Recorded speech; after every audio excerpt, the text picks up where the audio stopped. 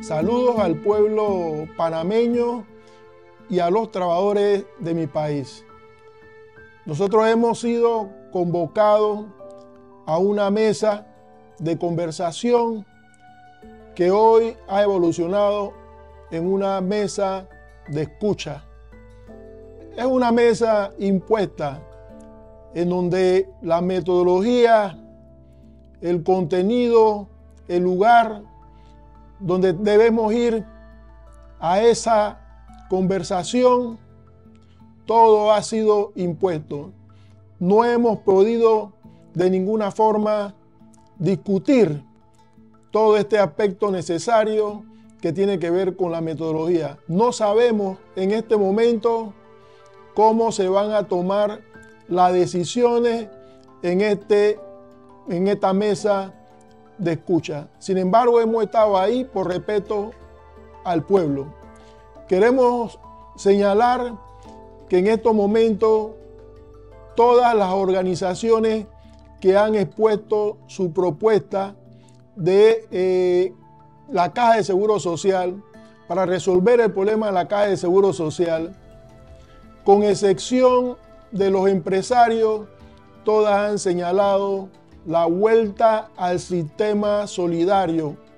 Esto es sumamente importante porque la única que ha señalado una propuesta de privatización de las pensiones de los trabajadores es la CONEP. Son los empresarios que buscan hacer negocio con las pensiones de los trabajadores. El movimiento popular va en estos momentos a entregar su propuesta. Esa propuesta que tiene que ver con la solución al problema de la Caja de Seguro Social. Nosotros consideramos que hay que tomar en cuenta tres elementos.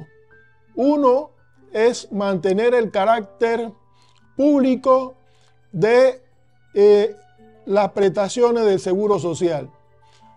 El segundo elemento tiene que ver con la solidaridad. En ese criterio de la solidaridad, nosotros señalamos que independientemente de la cotización del trabajador, se debe garantizar los derechos que hoy tiene. Y hay un tercer elemento que tiene que ver con la universalidad de la atención de los trabajadores y además de su familia.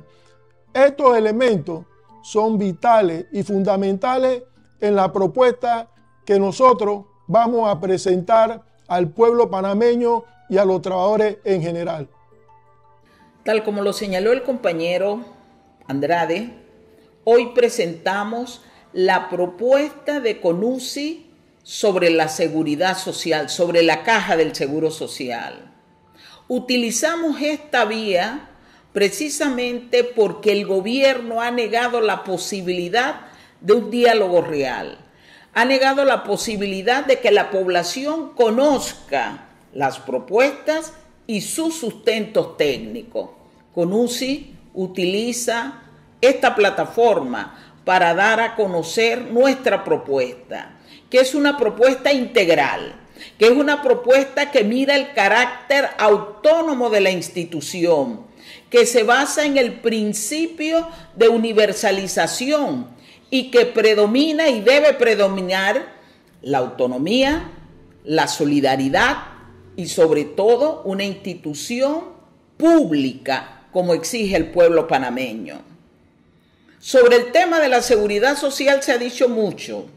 Los medios de información en una agenda mediática intentan hacer ver que las causas son exclusivamente financieras actuariales.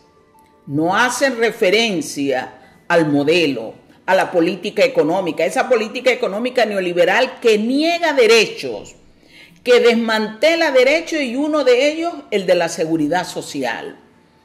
Modelo que ha sido y que sigue generando concentración de la riqueza, pobreza, desigualdad social y que no es capaz de generar empleo digno con salario justo, una de las bases que requiere y demanda el programa de invalidez, vejez y muerte en cualquiera de los dos sistemas que hasta el día de hoy se nos imponen. Somos del criterio que para tratar el tema tenemos que valorar las condiciones estructurales, es decir, enfocarnos en las causas y no solo en los efectos. Tres condiciones estructurales. La primera, el modelo de crecimiento un modelo que no es capaz de generar, empleo, que ha reducido a su mínima expresión a los sectores productivos, que ha generado un proceso de evasión profunda de la carga tributaria, un modelo que desmantela derechos para imponer criterios individuales y sobre todo para imponer los intereses de los sectores empresariales la ganancia. La segunda relación estructural que tenemos que valorar son las características que tiene el mercado laboral.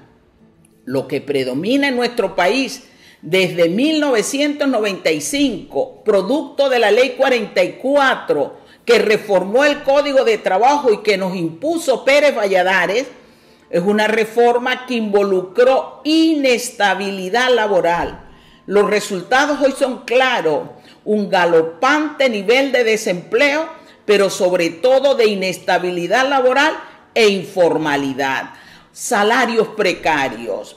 Es decir, como ha planteado la OIT, vivimos en un mundo laboral precario en donde cada vez los que generan riqueza, que son los trabajadores y las trabajadoras, reciben menos salario y que por consiguiente van a obtener pensiones de hambre, de miseria, como ha pasado en Panamá. Insisten en privatizar. Quieren plantearnos elementos privatizadores, pero no hacen referencia a la tercera causa estructural, los abusos que se han cometido contra la caja del Seguro Social, la evasión de cuotas, el negociado, las mafias como la mafia farmacéutica. Se ha privilegiado a los sectores empresariales que tienen que ver con el tema de la salud y que ven la enfermedad como un negocio para la obtención de ganancias.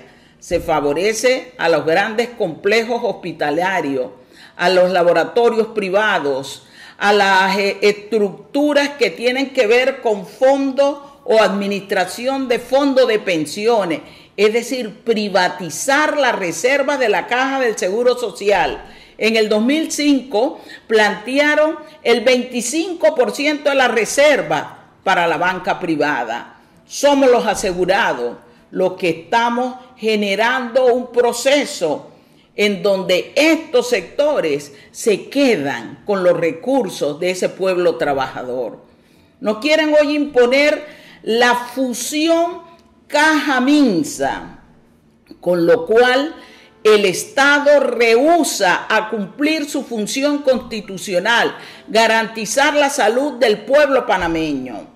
La mayor parte de la atención la brinda la Caja del Seguro Social hoy pretenden trasladar los recursos del programa de enfermedad y maternidad al MINSA para facilitar la privatización de la prestación de salud tal como lo planteó el Banco Mundial. En materia de IBM nos quieren plantear que es necesaria las medidas paramétricas, aumento de edad, de cuota, de densidad, aumento de los años para el cálculo de la pensión y disminución de la tasa básica de reemplazo, es decir, menores pensiones, pero no están conformes con ello. Nos quieren imponer cuentas individuales cuyos resultados son pensiones bajas. En todas partes donde se ha aplicado este sistema, las pensiones son de hambre, de miseria. Y ese es el planteo que nos traen los sectores empresariales. La cobertura en las cuentas individuales disminuyó en toda la América Latina. Frente a ello, nuestra propuesta es una propuesta integral. una propuesta que llama a reconocer el derecho a la salud, el derecho a la seguridad social, una propuesta que plantea el respeto a la autonomía de la caja del Seguro Social, al principio de universalización, a la solidaridad y al carácter público. Abogamos precisamente por tener claro que el problema de la seguridad social implica atender los determinantes que hacen la vida saludable. Frente a ellos, tenemos una propuesta que tiene como base la ley de la vida, esa que presentamos en el 2005 y que hoy tiene plena vigencia por su carácter integral, por su respuesta a favor de la vida, por su respuesta a favor de los trabajadores, de las trabajadoras y del pueblo panameño. Te invitamos a que escuches nuestra propuesta que será presentada a continuación por el profesor William Hughes. Es una propuesta del consenso, del trabajo participativo de muchos panameños y panameñas preocupadas por este tema. Saludos al pueblo panameño. En el día de hoy vamos a presentar la propuesta de los sectores que aglutina CONUSI, sector de los trabajadores, con respecto a la problemática se está debatiendo hoy día sobre la caja del Seguro Social en la presidencia de la República en una mesa que inició como de conversaciones y ha degenerado en una mesa de escucha, donde prácticamente pues allí no se va a discutir cuestiones de fondo y en razón de eso queremos transmitirle al pueblo panameño de manera directa cuál es la propuesta que estamos presentando. Asistimos a un momento de una nueva arremetida para la privatización de los, de los fondos de la Caja del Seguro Social que se inicia desde el gobierno de Ernesto Pérez Valladares cuando se quitan todas las jubilaciones especiales, se profundiza luego con el gobierno de Martín Torrijos, otro gobierno también del PRD, y hoy día pues se pretende eh, continuar con esa tendencia de privatizar los fondos de la Caja del Seguro Social. Nuestra propuesta, por el contrario, está incorporando otro conjunto de elementos que niegan la conveniencia de tal acción. Esa propuesta la hemos presentado en un documento que le hemos denominado el rompecabezas de la Caja del Seguro Social, que elaboramos en el año 2021 y que actualiza lo que presentamos en el año 2025. Lo hemos presentado en distintos espacios eh, a nivel nacional y hemos actualizado toda una serie de datos, pero en esencia se mantiene la propuesta. Esa propuesta puede ser accesada en el sitio de internet del Frente Nacional por la Defensa de los Derechos Económicos y Sociales, eh, Frenadeso. En esa propuesta tenemos una visión integral de la seguridad social.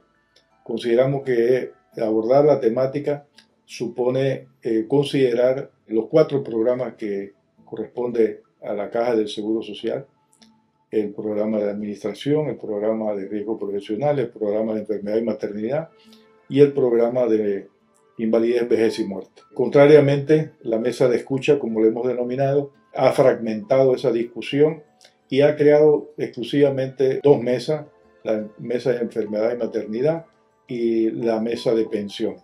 Y en la mesa de pensiones, el propio señor Mon desde el inicio planteó que el propósito de esa mesa era exclusivamente eh, buscarle soluciones al, al programa de, del sistema de reparto definido y lo que nosotros señalamos es que habría que plantearse eh, la propuesta integral incorporando también el denominado sistema mixto, porque la causa principal, aunque no es la única, pero sí la causa principal del por qué el sistema de reparto definido hoy día está en serias dificultades de financiamiento, es debido a que el programa se cerró en el año 2005 y lo promovió precisamente el señor Dino Mon, eh, que ahora es el nuevo director de la Caja de Seguro Social, junto al señor Roberto Brene, que es asesor financiero económico del señor presidente Mulino.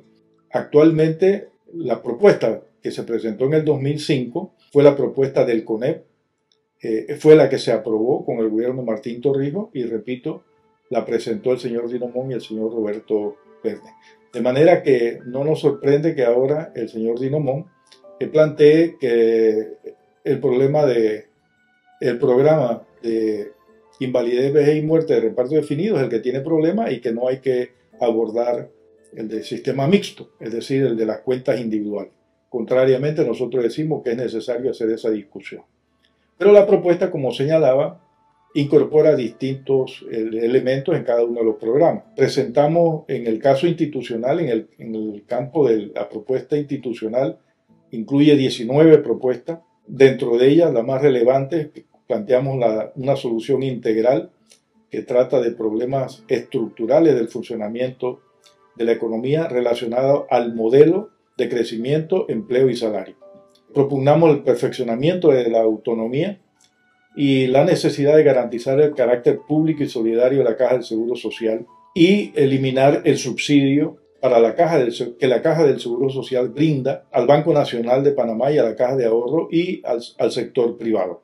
Al mismo tiempo, señalamos que es necesario una política contra los abusos para suprimir la evasión, la morosidad y los peculados cometidos contra la Caja del Seguro Social por empresas y gobiernos. En materia de enfermedad y maternidad, tenemos 10 propuestas. Señalamos que es necesario mantener el, el, servicio de salud de carácter público. Es necesaria una compensación económica a la Caja del Seguro Social por parte del Estado por la atención a los beneficiarios, porque es el Estado el responsable de la salud pública y la Caja de Seguro Social hoy día está cargando con la atención de una gran parte de la población.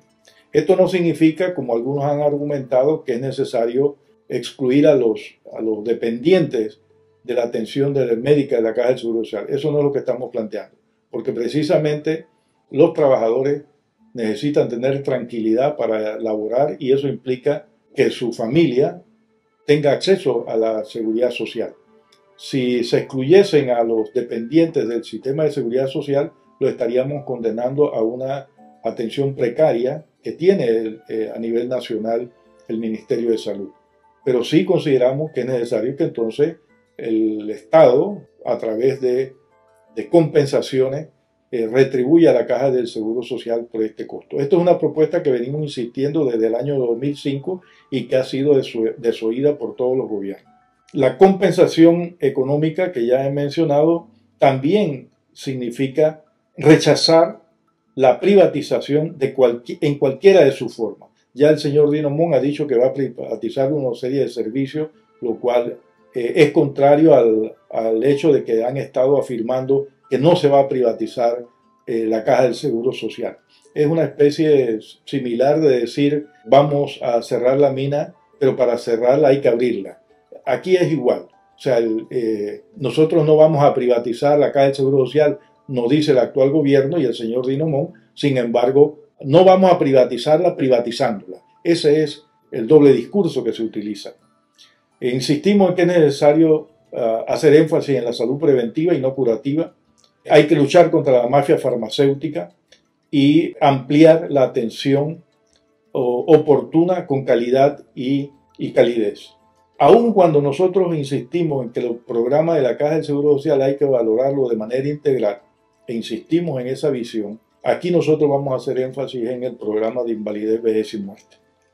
Y en, esa, en ese campo, la propuesta incluye 16 eh, acciones eh, entre las cuales una de las principales es que es necesario regresar al sistema solidario, unir los dos sistemas. Eh, rechazamos las medidas paramétricas eh, porque se habla mucho de que la solución a la caja del Seguro Social implica un, un sacrificio compartido pero en realidad las medidas paramétricas no implican un sacrificio compartido, porque el aumento de la edad de jubilación, el aumento de cuotas el aumento de, mínimo de cuota para poderse jubilar, eh, la reducción de la, de la, proporción sobre la cual se, del salario con la cual se jubila, todos esos elementos los paga el trabajador. La única parte que es compartida es la cuota obrero patronal.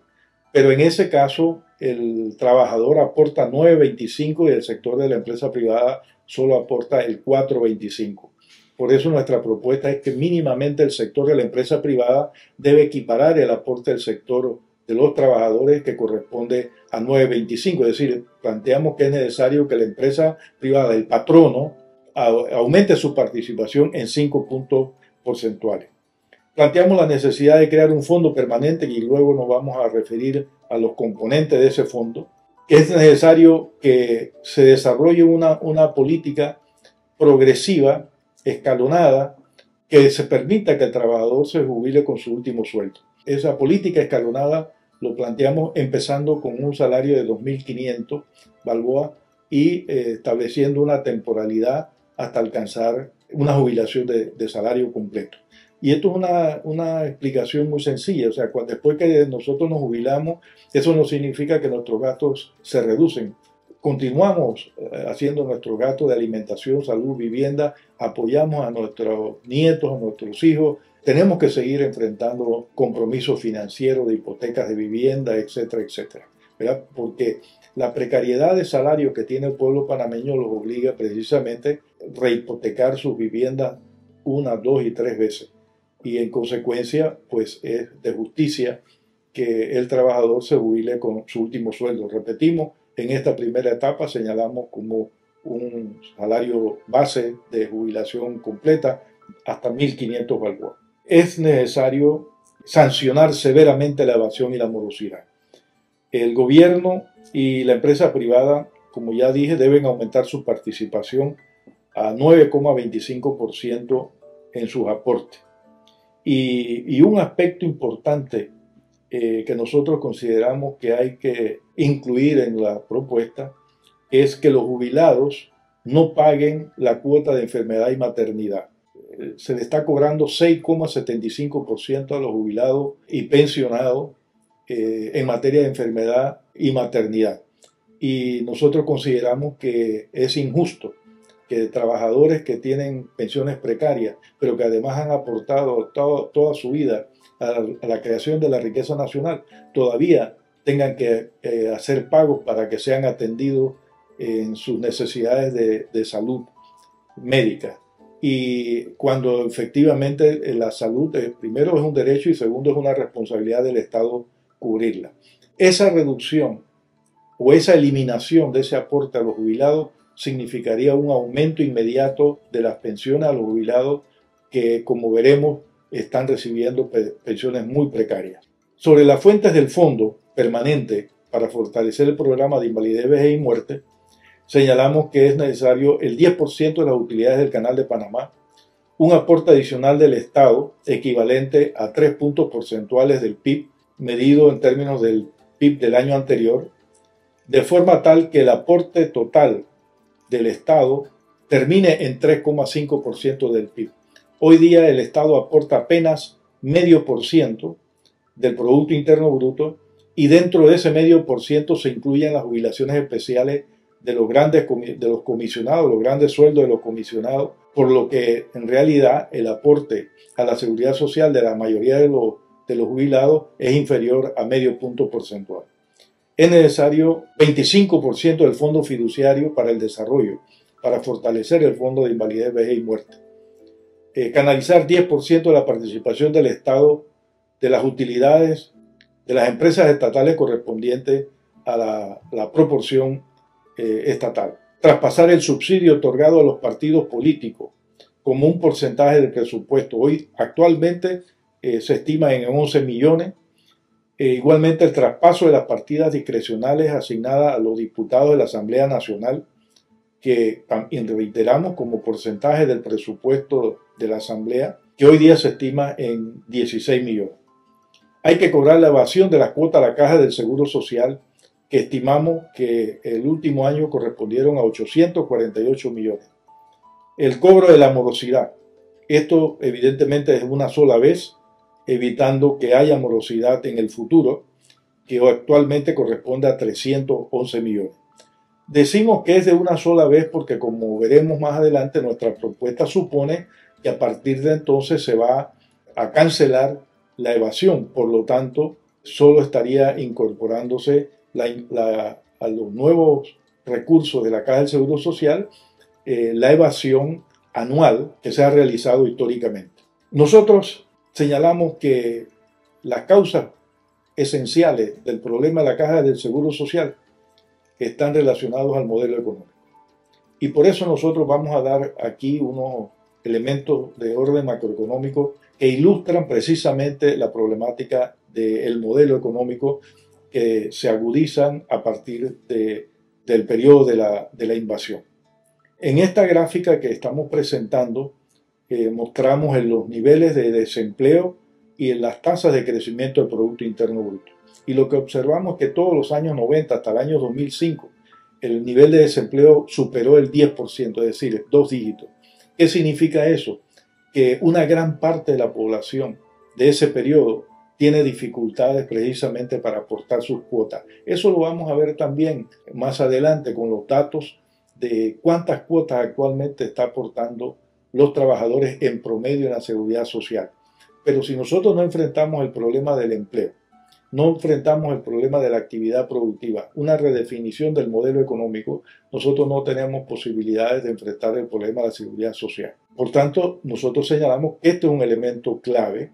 No obstante, el señor Mulino en una de las reuniones que se tuvieron señalaba que él no quería que discutiéramos políticas de empleo ni nada, ni nada por el estilo, lo cual evidentemente es una corta visión sobre cómo atender el problema de la seguridad social. Esta gráfica ve con más detalle, ahora de un periodo mucho más largo, desde 1963. Y lo que nosotros observamos es que el desempleo ha sido un serio problema, sobre todo del periodo del 79 e inicio de los 80 en adelante. Y todavía repetimos, en el año 2005 el desempleo era del 10,3%. Aquí es importante señalar que gran parte de este problema eh, se agudiza con eh, las modificaciones del Código de Trabajo que implementó Pérez Valladares en el año 1995, que produjo y estimuló eh, la gran inestabilidad laboral en el país.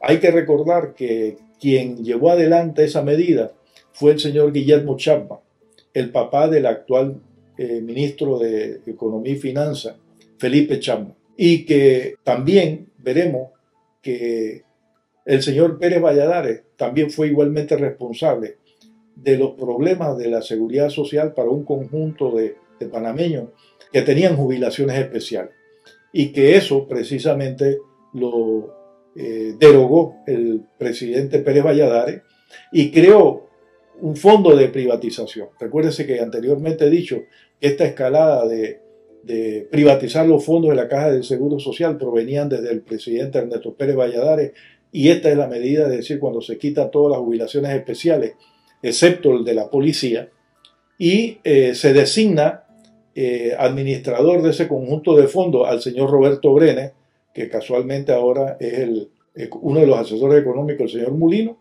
y también fue el que presentó junto con el señor Mon en el 2005 la propuesta la propuesta del CONEP. Pero dentro de esas acciones del modelo económico también se ha producido una gran concentración de la riqueza. La, la, participación de los salarios en el Producto Interno Bruto, que en el año 90 eran 52%, pero en el año 92 había disminuido a 48,5%, eh, para el año 2023 apenas representaban los sueldos y salarios el 22% del Producto Interno Bruto. Es decir, se pasó de que la riqueza que se creaba en el país, 48 balboas de 100 iban a los salarios de los trabajadores, se pasó a que para el año 2023 apenas eran 22 balboas. Eso evidentemente eh, ha hecho que los trabajadores tengan una menor participación en el empleo y al mismo tiempo no puedan pagar las cuotas al seguro social que les permitan tener mejores pensiones. Eh, y es parte de los problemas que tiene el sistema de seguridad social. Si se pagan eh, una determinada cuota, pero sobre la base de salarios precarios, evidentemente eso es un problema de la seguridad social. Por eso nosotros señalamos que es necesario cambiar esa, esa dinámica y desarrollar políticas de redistribución del ingreso, mejoramiento de los salarios y mejoramiento del empleo como un mecanismo de mejorar el sistema de pensiones. De la misma manera, se observa en esta gráfica que contrariamente a la caída de la participación de los, sueldos y salarios en el Producto Interno Bruto, la parte de las ganancias aumentó significativamente, llegando a representar actualmente 63%, es decir, de cada 100 balboas que se produce en el país, 63% va al sector de la empresa privada. No obstante, a los inicios de los años 90 apenas era 26%. Ese proceso de concentración de la riqueza es necesario atacarlo para que también el sistema de pensiones tenga, tenga solución. Pero no bastando con eso, también eh, se observa que la participación de los ingresos tributarios cobrados por el, el Estado en el Producto Interno Bruto también tendió a disminuir.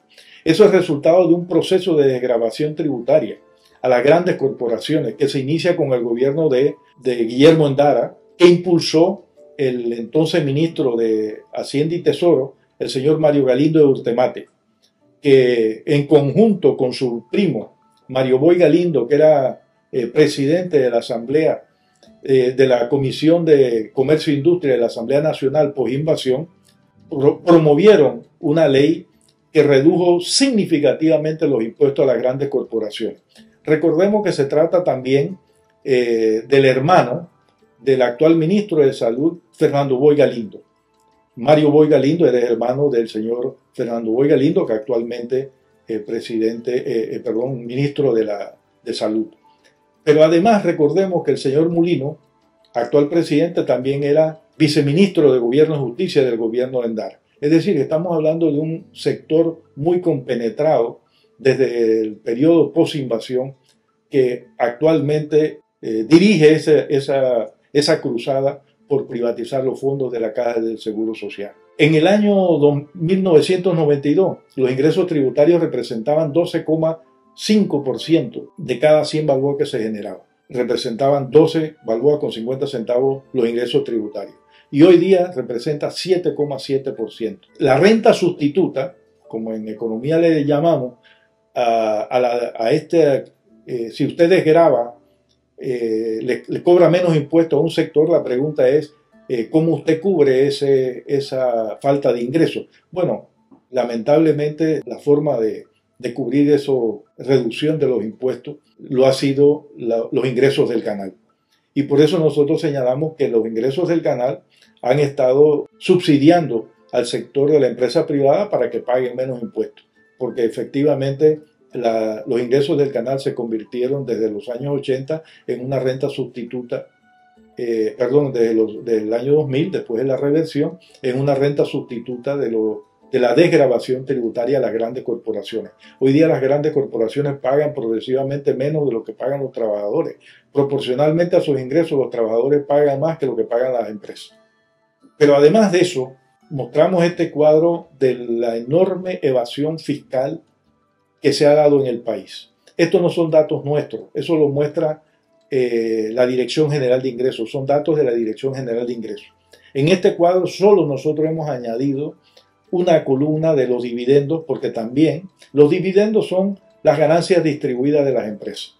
Y ocurre que no aparecen unos grandes cobros por las ganancias distribuidas, lo cual sugiere que ha habido evasión sobre eso, porque no es cierto que las empresas no distribuyan los dividendos a, los accionistas, que son los propietarios de las empresas. Si no, los accionistas no tendrían con qué vivir. ¿verdad? Los accionistas viven precisamente de las ganancias distribuidas. Y lo que nosotros señalamos es que es solo en materia de dividendos, las estimaciones es de aproximadamente 12 mil millones de dólares del 2007 al año 2023. Y el total de evasión del 2007 a la parte al 2023 suman 94 mil millones de dólares, el 11% del Producto Interno Bruto. Fíjense que no estamos mencionando antes del 2007, que evidentemente también ha habido evasión, sino que estamos utilizando exactamente los propios datos de la Dirección General de Ingresos. Pero contradictoriamente a eso, que son datos de la Dirección General de Ingresos, que la Dirección General de Ingresos dice las empresas están evadiendo, porque estos son datos de las empresas, estos no son datos de los trabajadores, los trabajadores no podemos evadir, pagamos nuestros impuestos. En consecuencia, es eh, realmente contradictorio que la Dirección General de Ingresos diga eh, la evasión anual aproximadamente, por ejemplo, en el año 2023 se estima en 9 mil millones de dólares, ¿verdad? Y que la Dirección General de Ingresos no establezca ninguna acción que busque mejorar la recaudación. Usted ve el presupuesto, en el presupuesto no aparecen mayores rubros, creo que en este presupuesto se estima que van a recuperar unos 75 millones de en la mejoría de la administración tributaria. eso realmente es, eh, es algo que es inaceptable. Si, la, si una propia oficina dice hay evasión de 9 mil millones de dólares, de 7 mil millones de dólares, es inaudito que dicha oficina no se plantee mecanismos para recaudar esos impuestos. Sencillamente de lo que se trata es que no hay voluntad política para recaudar. Y aquí no estamos inculpando a los funcionarios que tratan de hacer bien su trabajo, sino de quienes dirigen esas instituciones, que protegen, terminan protegiendo al final de cuentas, porque si no los protegieran, cobrarían los impuestos que evaden eh, a, a los grandes evasores. Hay una mafia de evasión, de evasores, y esa mafia también hay que atacarla. Fíjense que hemos estimado eh, cuánto el Estado hubiera cobrado en adición si hubiese mantenido la participación de los ingresos tributarios del año 1992, que era 12,5%, que como dijimos ha disminuido al 7,7% actualmente. Bueno, eso ha significado una pérdida de 32 mil millones de dólares. Con eso lo que estamos diciendo es, el modelo económico produce concentración de la riqueza, produce desgrabación tributaria favoreciendo a las grandes corporaciones, eh, posibilita subsidio no a, los sectores de menores niveles de ingresos, sino a las, grandes, a las grandes corporaciones. Y eso explica también que eh, si el Estado, si quienes administran el Estado tuvieran la voluntad política de enfrentar los problemas de salud, educación y el caso que nos atañe aquí de, de pensiones, hay suficientes recursos para para poder canalizar esos recursos y enfrentar el problema sin necesidad de aplicar medidas paramétricas. Si nosotros lo vemos desde el lado del poder adquisitivo, hoy día eh, la mediana salarial, la mediana salarial nos dice que el 50% de los trabajadores gana actualmente 735 balúas y menos. En el año 2019 era 723, 722 balúas pero el poder adquisitivo se redujo en 33% eh, debido a la, inflación. Es decir, eso es un elemento importante porque hoy día las pensiones no son indexadas, es decir, las pensiones no suben según el costo de la vida, según la inflación, sino que si usted hoy día se jubila con 100 balboas, va a tener esos 100 balboas durante toda su vida. Eh, nosotros lo que señalamos en nuestra propuesta es que es necesario que las pensiones eh, aumenten según el costo de la vida, pero porque no puede ser que las personas sean condenadas a que además de que sus pensiones son de miseria, este, no puedan aumentar sus pensiones en el futuro. Fíjense que la propia Contraloría en el año 2023, en su última encuesta, señala que de los ocupados plenos, aquellos que están trabajando 40 horas y más, el 18%, 17.9% no ganan siquiera salario mínimo. Estamos hablando de 167.306 personas, lo que supera incluso eh, la cantidad de desempleados plenos como lo cataloga la, seguridad social. Eh, perdón, la Contraloría. La informalidad laboral es otro elemento, es decir, el propio modelo económico no produce empleos estables, no produce empleos permanentes. Pero también debemos recordar que la causalidad de esto es precisamente las reformas que produjo el señor Pérez Valladares, que impulsó el señor Pérez Valladares con el señor Guillermo Chapman en el año 1995, que eh, estimuló la inestabilidad laboral.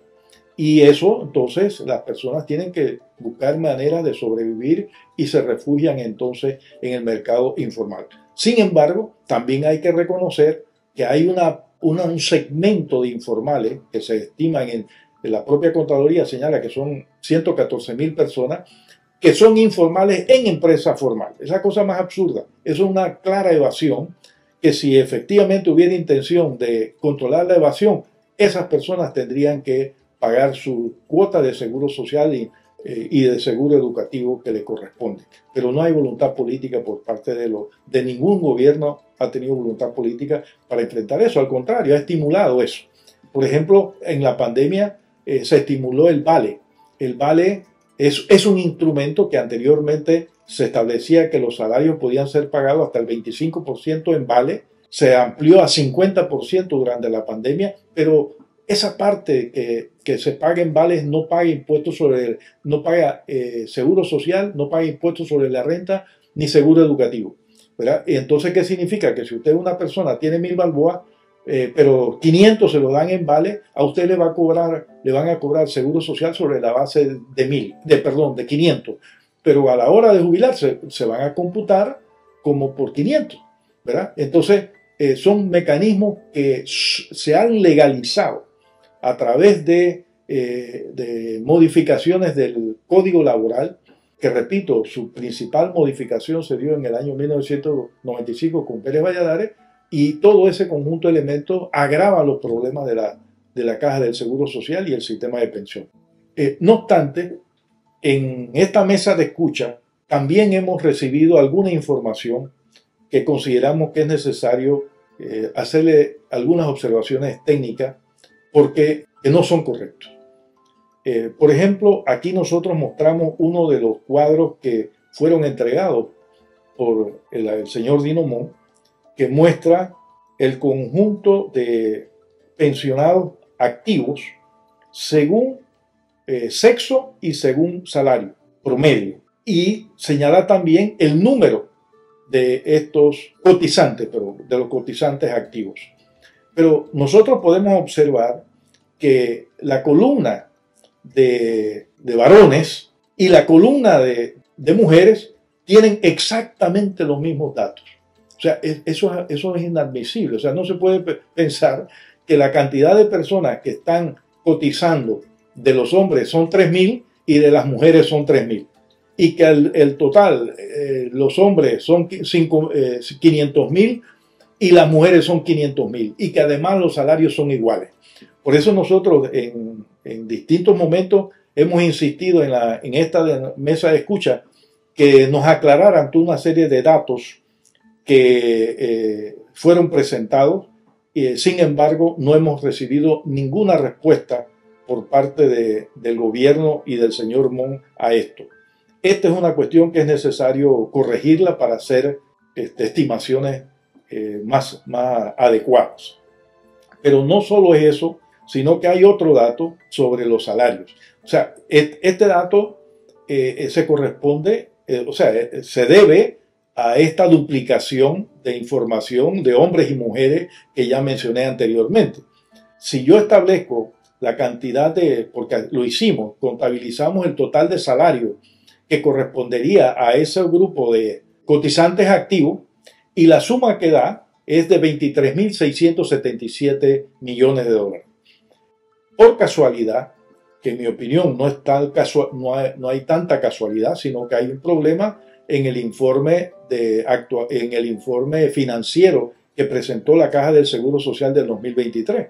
Porque de acuerdo a los datos que presentó la Caja del Seguro Social, teniendo en cuenta las, las cuotas cobradas, pues se deduce que los salarios que corresponden a esa cuota sumarían casi exactamente la cifra que eh, eh, tienen las tablas que nos fueron entregadas en la llamada esta mesa de escucha. Eso es una cuestión que el gobierno tiene que aclarar, porque no, no, son consistentes los datos.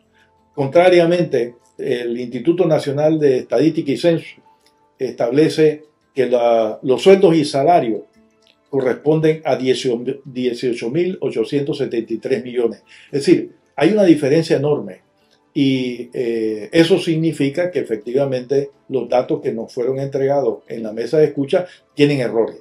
Y si yo voy a establecer niveles de pensión basados en datos equivocados, evidentemente voy a tener también resultados equivocados.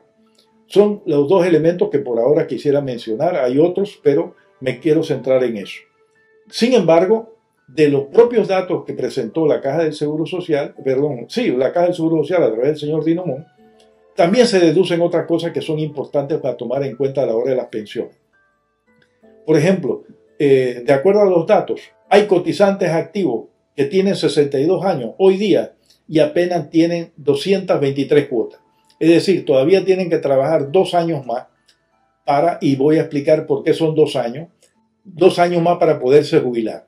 Y digo dos años más porque eh, las cotizaciones promedio de los varones hoy día son siete cuotas por año. Las mujeres están aportando menos cuotas por año de lo que eh, aportan los varones. En consecuencia, si usted en promedio está aportando 7 cuotas, para poder cubrir 240 cuotas, si usted tiene 223, tendría que trabajar dos años más todavía. Eh, pero los datos también nos dicen qué, pensiones están recibiendo hoy día según categoría de pensionado.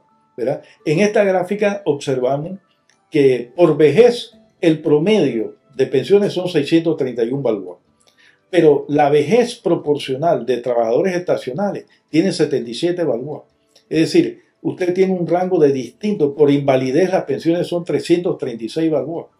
Pero el señor Dino Mon en un programa de televisión todavía se atrevió a decir que las pensiones en Panamá eran sumamente generosas. O sea, los datos no nos dicen eso. Eh, es realmente un, cinismo decir que las pensiones son general, generosas cuando usted observa esta, esta característica. Pero además debemos decir que el 50% de los pensionados reciben pensiones de 400 balboas y menos, es decir, la gran mayoría de los pensionados, porque los promedios esconden cosas. Aquí nos dice que la, pensión por vejez es de 631, pero la mitad de los pensionados tienen 400 balboas y menos, ¿verdad? Porque hay pensionados que cobran sumas superiores a los 631 balboas. ¿verdad? Entonces, esa es una realidad que hay que tomar en cuenta. Y eh, al parecer, quienes quieren privatizar los fondos, poco les interesa eso. Es decir, hay una insensibilidad humana que es necesario que nosotros como eh, ciudadanos eh, no permitamos que ocurra.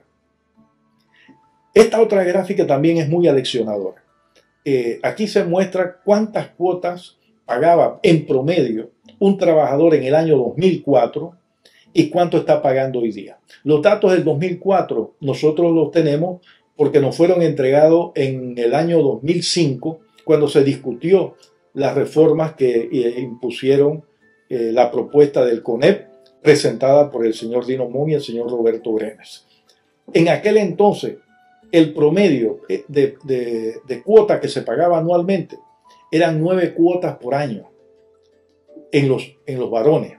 Hoy día es siete cuotas por año. Es decir, progresivamente desde el año 2005 ha estado disminuyendo la cantidad de cuotas que los trabajadores aportamos a la caja del Seguro Social.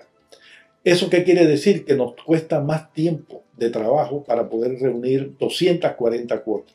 Si hoy día se suben las cuotas mínimas para jubilarse, evidentemente supondría mayores años de trabajo y para hombres y para mujeres. Para el caso de las mujeres es más grave, ¿verdad? O sea, hoy día las mujeres pagan menos cuotas significativamente, son en promedio unas 6 cuotas, un poco menos de 6 cuotas, 5.8 cuotas por año, Es decir, si tiene 240 cuotas que equivalen a 20 años, bueno, tendrían que trabajar 40 años en promedio.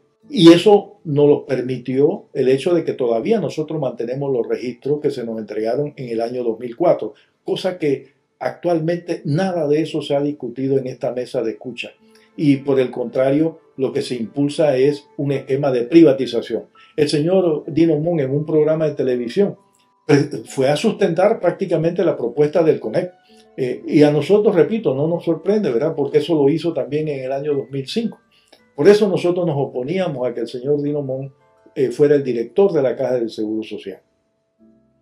Aquí pues ya más claramente los varones eh, para el año de 60 años, imagínense, están, están aportándose 7 cuotas por, por año. Requerirían 63 años para jubilarse. Y eso hace entonces, fíjense, cada vez se trabaja más, por eso nuestro planteamiento de que la, las medidas paramétricas lo que hacen es que trabajemos más, coticemos más, aportemos más y, nos muramos rápido, ¿verdad? Porque tengamos bajas baja pensiones.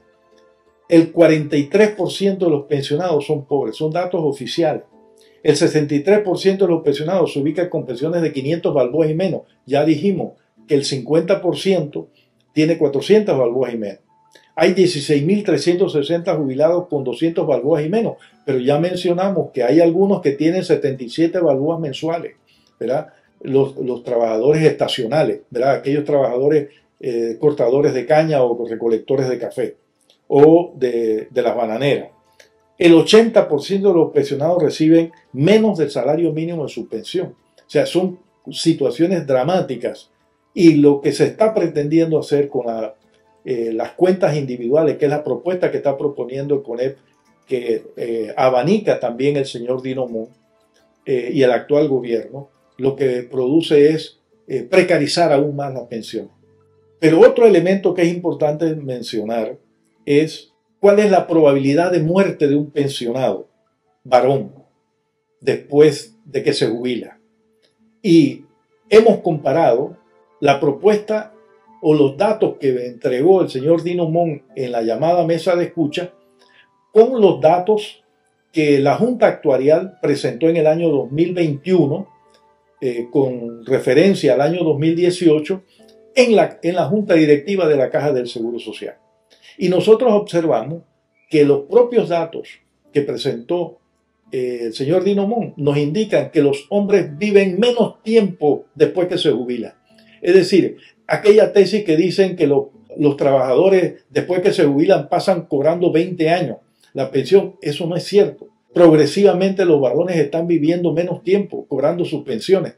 Y estamos comparando solo lo que presentó eh, la Junta Actuarial en el año 2021 y la que ahora ha presentado el señor Dinomón. Pero si nosotros analizamos lo que presentó eh, la Junta Actuarial en el año 2021, que comparó ese mismo dato del 2000 con el 2009 y el 2018, como observan en la gráfica siguiente, también se observa que los hombres tienen mayores probabilidades de fallecimiento después de que se jubilan. Es decir, si, hacemos el recorrido entonces del año 2009 a la fecha, lo que nos están diciendo los datos es que los hombres están viviendo menos tiempo después que cobran las pensiones. Eso es una realidad. ¿verdad? Si usted hoy día lo que pretende es aumentar la edad de jubilación a las personas, pues van a tener menos años cobrando la pensión. Eso es lo que están diciendo los datos. Pero hay una enorme insensibilidad con el ánimo del sector privado de, de apropiarse de los fondos de los cotizantes que la propia OIT ha estimado que para el año 2095 estaría sumando alrededor de 200 mil millones de dólares. Eso es lo que está en el fondo. Hoy día, eh, el promedio de años que usted requiere trabajar de acuerdo a las cuotas que están aportando los trabajadores es de 37 años. Usted tiene que estar trabajando 37 años para poder cubrir 240 cuotas. Si usted le aumenta la edad, eh, la cantidad de cuotas a 300 cuotas, es decir, que tiene que cotizar durante 25 años, usted tendría que trabajar 46 años. Esa es la realidad. ¿verdad? Pero si usted tiene que trabajar 46 años, usted se, tendría que jubilarse a, a, una edad de 71 años, 70 años, ¿verdad? Entonces son situaciones que realmente nos dicen a nosotros que no se quiere resolver el problema de la seguridad social, sino que lo que se quiere es precarizar pensiones y que haya mayores dificultades de pensionarse. Porque si usted requiere trabajar 46 eh, años para poderse jubilar, evidentemente es muy probable que dada la precariedad del, trabajo, las dificultades de, de, conseguir empleo, la inestabilidad laboral, y a medida que usted tiene mayor edad, tiene mayores dificultades de conseguir empleo, pues la probabilidad de que usted se jubile cada vez es menor. Eso nos lleva a preguntarnos por qué es que se requiere modificar el sistema de pensiones. Por supuesto, el sistema de reparto definido tiene un serio problema de, financiamiento, pero ya hemos señalado que eso se debe a que en el año 2005, la ley del 2005, estableció un cierre del sistema a partir del 1 de enero del 2008. A partir del 1 de enero del 2008 no se permite que ningún trabajador que inicie eh, por primera vez labores eh, se ingrese al sistema de reparto definido, sino que automáticamente entra al sistema de cuentas individuales.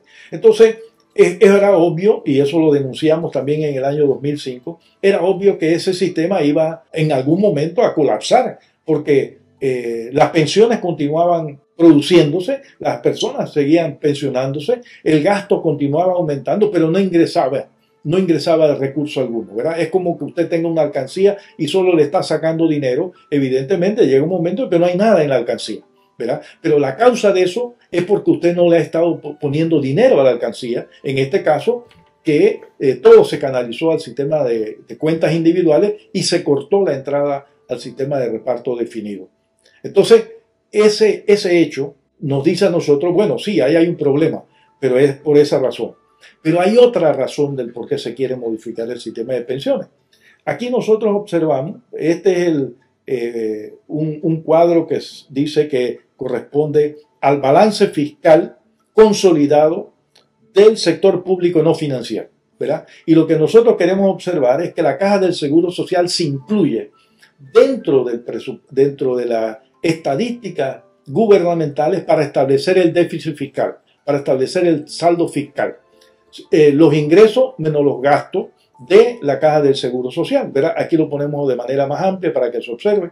Los ingresos menos los gastos de la caja del Seguro Social son relevantes para que se vea si hay mayor o menor déficit.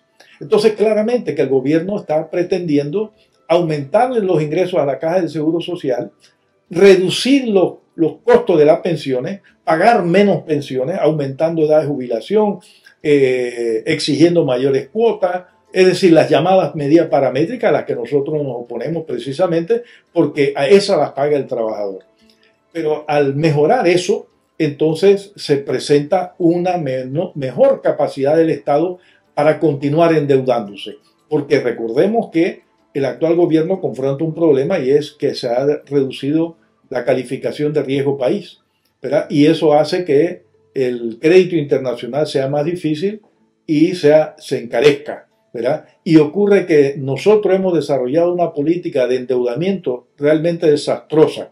Y nuevamente el hito histórico de ese desastre se encuentra en el gobierno de Ernesto Pérez Valladares y cuando era también ministro de Planificación y Política Económica, entonces el señor Guillermo Chamba, el, cual significó un aumento de nuestra deuda que superaban los 1.500 millones de dólares, legitimando los intereses. Es decir, la deuda nos aumentó en 1.500 millones de dólares sin que nos dieran un 5 porque se capitalizaron los intereses que no se habían pagado anteriormente. Eso fue una política desastrosa. A partir de entonces se ha desarrollado una política terrible en manejo de la deuda externa eh, y hoy día estimamos, son datos que hemos establecido, entre 43 a 45% de la deuda actual son simplemente capitalización de intereses. ¿sí? Intereses que no hemos podido pagar y sencillamente se convierten en deuda intereses que continúan cobrando intereses y por consiguiente la deuda continúa aumentando. O sea, si nosotros no cambiamos esa dinámica de cómo atender la administración de la deuda externa, eh, pues sencillamente vamos a seguir enfrentando este problema. Pero eso se observa también en la, gráfica siguiente. ¿verdad? Nosotros aquí observamos cuál ha sido el comportamiento de los pagos de intereses de la deuda externa a partir del 2004 y cómo se han comportado los déficits fiscales. Eh, los intereses acumulados eh, hasta el año 2023 son aproximadamente 20 mil millones de dólares. Y los déficits acumulados son casi 28 mil millones de dólares. Es decir, la principal causa de los déficits fiscales son los intereses que se paga la deuda externa. Y repito, son intereses que se basan en intereses que se convirtieron en deuda, que después continuaron cobrando intereses. ¿verdad? Ese, ese enfoque de endeudamiento se inicia con el gobierno de Ernesto Pérez Valladar y lo han continuado agudizándolo todos los gobiernos anteriores. Pero entonces, si la caja del Seguro Social mejora sus ingresos y, su, y sus gastos, la diferencia entre ingresos y gastos, pues entonces el Estado puede presentar una mejoría de la finanza y en consecuencia seguir con esta lógica de endeudamiento que claramente nos está conduciendo al desastre. Y los quienes están, quienes quieren que paguemos nosotros esa política de desastre son los cotizantes y los, los asegurados. Y eso es lo que nosotros no podemos permitir. Fíjense, los ingresos de la Caja del Seguro Social, de todas las reservas, crecieron un promedio del 10%. Las pensiones, los, ingresos por pensiones, crecieron un 9,3%. Pero como se observa en la gráfica claramente que los saldos del sistema de reparto indefinido, es decir, aquí la línea eh, que va hacia abajo, es el de mayor problema, precisamente por las razones que hace un momento yo explicaba. Es decir, no ingresaban cotizantes nuevos, no ingresaba dinero a la alcancía y al contrario, pues se seguía sacando dinero de la reserva y evidentemente esas reservas iban a continuar decreciendo. Contrariamente, el otro programa, el programa de las cuentas individuales, pues continúa aumentando. Por eso nosotros decimos que es necesario unir los dos sistemas. Porque además de eso, ah, las cuentas individuales producen pensiones muy precarias. Los estudios de América Latina que sostiene la OIT nos señalan que hay países que están, los pensionados reciben aproximadamente el 11% de sus salarios. ¿verdad? El mejor de los casos están recibiendo el 37%. Eso es a lo que nos conduce las cuentas individuales, que las personas eh, reciban menos pensión. ¿verdad? Y cuando se privatizan estos fondos, ¿quiénes son los, mejores, los mayores beneficiarios? Las administradoras de los fondos de pensión y los sistemas y los bancos. Todas las administradoras de fondos de pensiones aquí en Panamá están vinculadas a bancos. Y eso no es una norma aquí en Panamá, es en general. Y usted observa que en la mesa de, de escucha, quienes han sustentado las cuentas individuales son precisamente personas que trabajan en los fondos de pensión, en la administración de fondos de pensión, que también se vinculan al banco, precisamente al Banco General. El señor Mesa, que fue el que presentó la propuesta del CONEP, eh, es el administrador de esa administradora de pensiones del Banco General. Pero otro elemento que es importante señalar es que cuando uno analiza los fondos de, por, por programa, nosotros observamos que el fondo de enfermedad y maternidad tuvo un comportamiento creciente hasta el año 2019. Pero a partir del año 2019, cuando entra la pandemia, las reservas se observa que empiezan a caer, ¿verdad? Es decir, la, la curva ascendente empieza a doblarse y eso es resultado de que los costos de salud durante la pandemia fueron absorbidos por la caja del Seguro Social. Y por eso nosotros nos oponemos a la unificación del sistema Caja del Seguro Social MINSA, ¿verdad? Que es lo que está impulsando el gobierno y el señor eh, Fernando Boy Galindo, ¿verdad? Porque de lo que se trata es que también eh, se le quiere echar mano a esa reserva eh, que tiene la Caja del Seguro Social del programa de enfermedad y maternidad, como se hizo durante la pandemia. Y por eso nosotros nos oponemos a ese, a ese proceso de, de unificación. Las evasiones de cuotas por parte de, de las empresas superan los 6 mil millones de dólares. Nosotros aquí solo hemos hecho el cálculo hasta el año 2019, pero hasta el año 2023 esa, esa evasión ha aumentado. Pero esa evasión a qué se debe? Que no hay una política de cobro adecuada.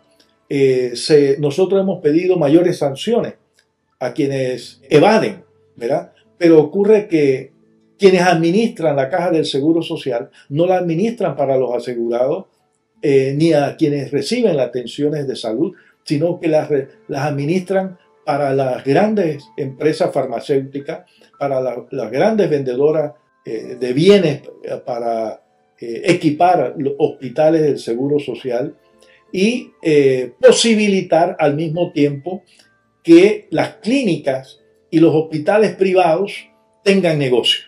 ¿verdad? Nosotros hemos insistido que hay una diversidad de problemas en este país. Probablemente no sea el, único país que ocurre eso, pero nosotros insistimos que en este país hay una diversidad de problemas que no se resuelven porque el negocio está en que no se resuelve.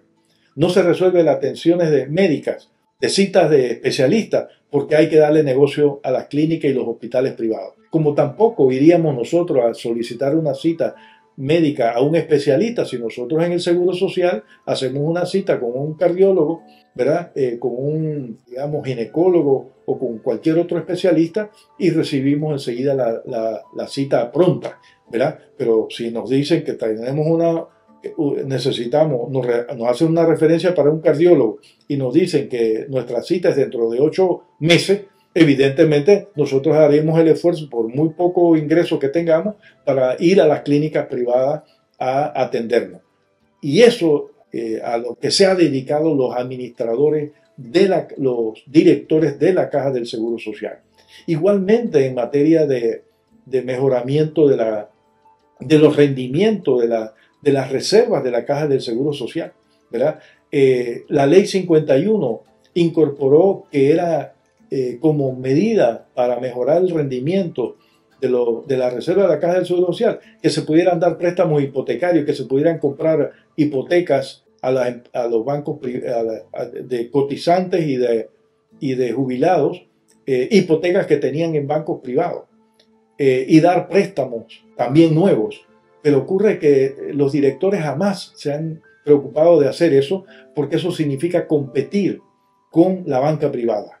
Y por eso, eh, pues es preferible que la banca privada tenga negocio a costa de que los fondos de pensión no tengan buenos rendimientos. Nosotros estamos subsidiando a la Caja del Seguro Social y, al Banco Nacional, que nos pagan tasas de interés sumamente pírricas, ¿verdad? Por, nuestros depósitos. Pero cuando nosotros vamos a esos bancos, pues nuestros préstamos no tienen bajas tasas de interés. En el 2005 se aprobó que el 25% de las reservas se pudieran depositar en la banca privada. ¿Y eso qué significa? Que estamos dándole dinero barato a la, banca privada para que nos, den créditos e hipotecas a tasas de interés caras, es decir, el sector bancario para que gane más dinero. Igualmente se está planteando con las pensiones. Mire, el rendimiento de las pensiones hoy día es 2,4%. Evidentemente, ese es una, un rendimiento sumamente bajo. La ley del 51 establecía que se tenía que procurar hacer el esfuerzo para que el rendimiento de la reserva no fueran inferiores al 6,5%. Pues eso no se, ese esfuerzo no se, no se realizó y de allí que nosotros tengamos la situación que tenemos también de, los fondos de pensión. Veamos ahora eh, nuestra propuesta y la sostenibilidad. Pero aquí solo vamos a recibir, vamos a presentar los resultados. Eh, hemos hecho un recuento de los problemas de la Caja del Seguro Social, por qué sus causales, cuál es la situación hoy día de los cotizantes, cuántas cuotas están en promedio aportando, qué significa eso en, términos de la cantidad de años que tienen que, cotizar actualmente. Estamos hablando de actualmente de 37 años para poder cubrir 240 cuotas en un mundo con precariedad laboral. Una gran parte de los cotizantes no logra jubilarse, tiene que recurrir a otro sistema de pensiones adelantadas, eh, digamos, situaciones que le, terminan dando pensiones todavía aún más bajas, pero porque no a determinada edad se le cuesta conseguir trabajo y por consiguiente le cuesta completar las cuotas. Hemos dado todo ese recorrido, hemos establecido la relación estructural del modelo económico como uno de los aspectos fundamentales que explica la problemática de la Caja del Seguro Social y que son necesarios corregir. Y la propuesta nuestra incluye ese conjunto de elementos. Ya adelantamos eh, al inicio la diversidad de, elementos que tiene nuestra propuesta. El fondo permanente, el que el sector de la empresa privada aumente el 9,5%, es decir, una diversidad de cosas. Aquí nosotros vamos a dar los resultados de esa propuesta en términos de qué capacidad de sostenibilidad tiene. Bueno, nuestra propuesta eh, incluye la unificación de los sistemas, incluye que eh, debemos hacer correctivos en el empleo, por tanto debemos desarrollar una política de reducción del, empleo de, los niveles actuales hasta alcanzar un 5% al año 2095. Eh, incluye eh, igualmente mejoría en la distribución del ingreso, mejorar la participación de los sueldos y salarios del 22% al 30% en los próximos 10 años y que se mantenga en ese nivel a partir de entonces mejorar otros elementos relacionados a, los ingresos de la Caja del Seguro Social, como es el aporte del Estado. Nosotros señalamos que el Estado hoy día está aportando 0,5%, que incluye las jubilaciones especiales, que aumente al 3,5%, eh, es decir, que aumente 3 puntos porcentuales en, la en, en el apoyo a las pensiones. Con esos escenarios, solamente con esos escenarios, no hemos incorporado los el fondo de pensión y considerando los saldos operacionales y sin añadir la capitalización de la reserva, para el año 2095 eh, los saldos corresponderían a 172.465 millones de balboas. Pero en la siguiente gráfica nosotros hemos incorporado la capitalización, ¿verdad? Eh, en, este, en este escenario estamos considerando una capitalización del 5,5% de la reserva. La ley actual del artículo 153 establece capitalización no inferior al 6,5, que se debe hacer el esfuerzo para tener esa capitalización.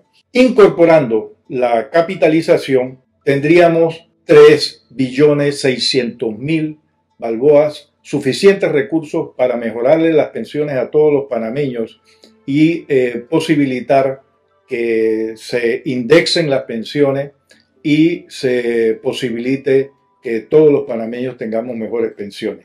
Eh, pero además, repito, no hemos incorporado aquí eh, los aportes que tendrían el fondo permanente.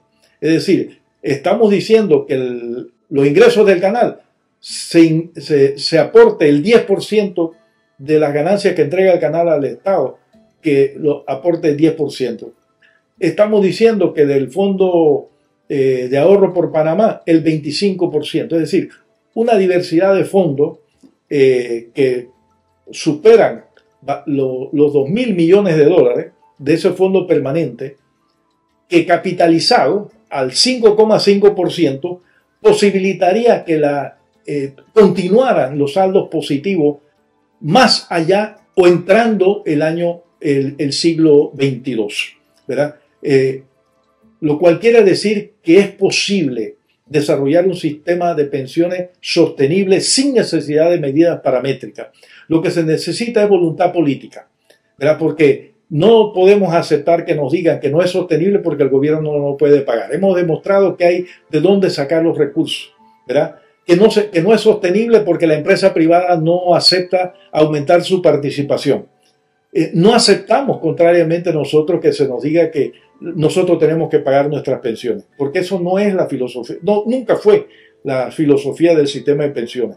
La filosofía del sistema de pensiones es que nosotros los trabajadores aportamos a nuestras pensiones, pero no pagamos nuestra pensión. La empresa privada y el Estado tienen que contribuir a que recibamos nuestras pensiones. Y eso es lo que nosotros estamos exigiendo y planteamos en nuestra propuesta eh, y que mostramos la factibilidad de su sostenibilidad en el tiempo de un sistema de reparto definido que posibilite eh, mejores pensiones para todos los panameños.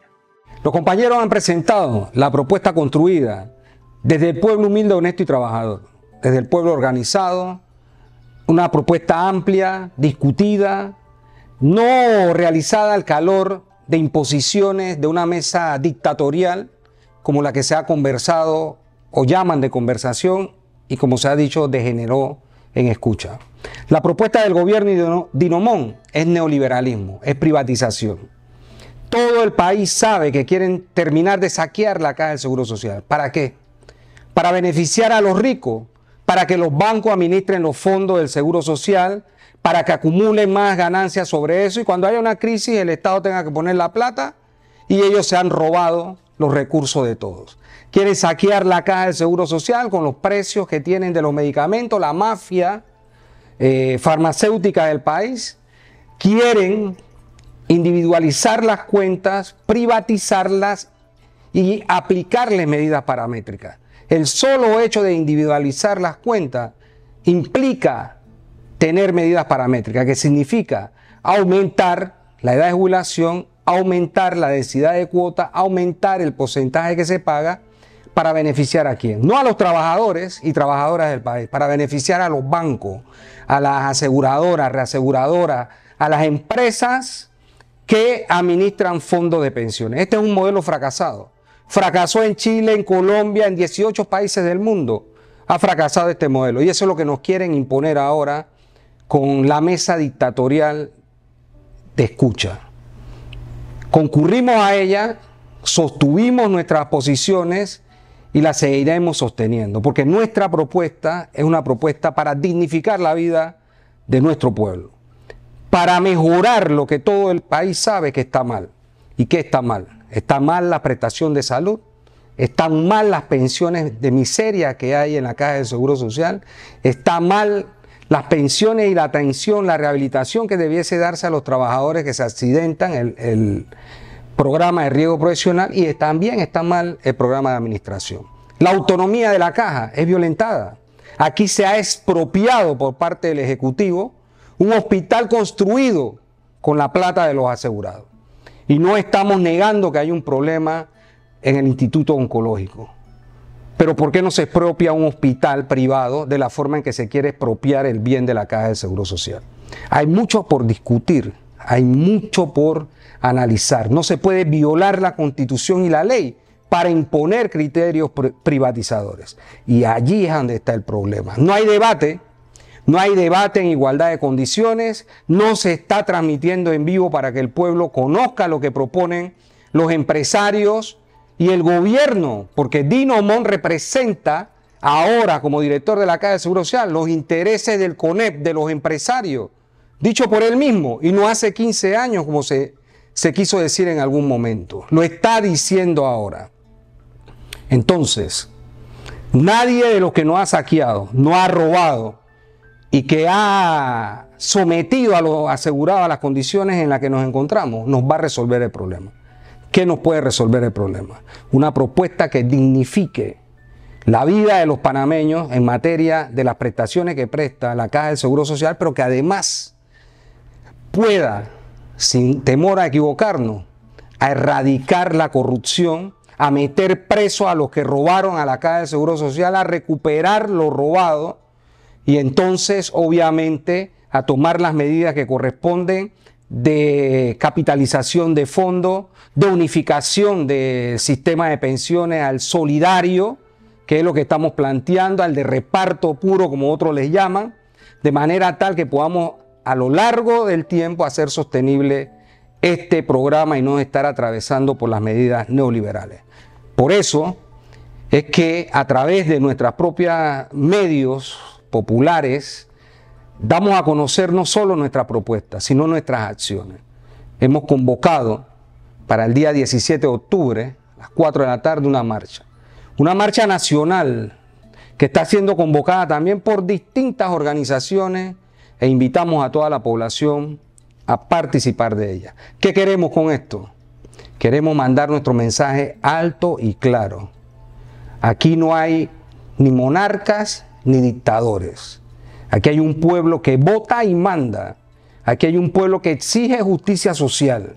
Aquí hay un pueblo digno que trabaja pero que el fruto de su trabajo no es redistribuido de forma adecuada.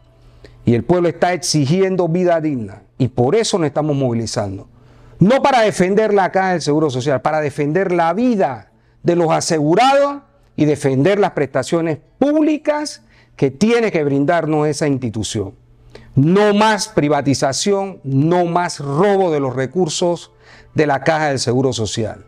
Las organizaciones representadas en la Junta Directiva deben tener el poder de nombrar su representante y revocarle el mandato si no cumplen eficientemente el mandato que se le ha dado. Entonces, panameño y panameña, la palabra última la tiene el pueblo. Y ese mismo pueblo que ha librado en los últimos dos años una titánica batalla por tratar de que haya justicia es al pueblo que estamos convocando a enfrentar esta situación y a que podamos buscar soluciones reales que beneficien a la mayoría y no a la élite de la mafiocracia corrupta que está enquistada en el poder del Estado formal, ejecutivo, legislativo, judicial, pero que además se enriquece robándole al pueblo panameño. Hay que parar esto de una vez y por todas. Hay que acabar con los oligopolios y con los monopolios. Así que nos corresponde ahora tomar la palabra. ¿Y estamos listos para qué? Para presentar nuestras propuestas, para sustentarla técnicamente, que a propósito, el CONE presentó propuesta y no sustentó técnicamente. Y la línea mediática en cada programa no los obliga a sustentar. Sin embargo, tratan de acorralar a las propuestas que surgen del movimiento popular a que tienen que sustentar. El gobierno no ha presentado propuesta ni va a presentar, porque pretende sorprendernos con una propuesta en eh, legislativo, así como lo hicieron el año pasado con la mina. Presentaron un proyecto de ley para sorprender al pueblo. Entonces esto no es la busca de una fórmula de buscar consenso. Este es el capitalismo salvaje. Esta es la anarquía del capitalismo y en efecto es la dictadura del capitalismo, que disfrazan de democracia. Y a eso tiene que ponérsele un fin también. El pueblo tiene derecho a debatir, a discutir y a que ser escuchado y a proponer. Y además que su propuesta se convierta en ley de la República para que en efecto podamos encontrar la justicia negada. Invitados cordialmente todos el día 17 a la marcha que vamos a realizar, el pueblo organizado y el pueblo panameño.